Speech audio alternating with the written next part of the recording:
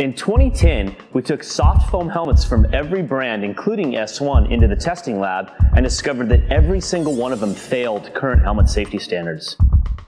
This is a soft foam helmet. It has a hard plastic outer shell and soft foam inserts. The problem with soft foam helmets is that impact energy travels directly through these helmets and rattles the brain. Soft foam helmets do not pass high impact or multiple impact certification tests. After learning this information, we set out to make a better, safer helmet. What we created was the S1 Lifer helmet. The Lifer helmet fits low on the head like a soft foam helmet, but instead of soft foam inserts, we created an inner shell of impact dispersing foam called fusion foam.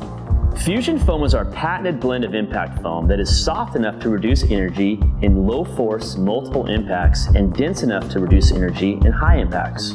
We make fusion foam by blending low, medium, and high density beads together to make our impact reducing inner foam mold. The inner foam mold is what does all the impact dispersion in the S1 Lifer helmet, and it is protected by the ABS outer plastic shell.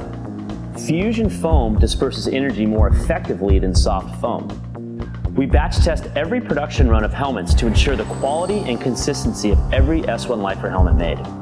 Lab tests show that the S1 Lifer helmet is five times more protective than soft foam skate helmets. The S1 Lifer helmet passes the multiple impact and the high impact certification tests. The S1 Lifer is a helmet that we can 100% recommend to team riders, family, and friends. Get a Lifer, be a Lifer.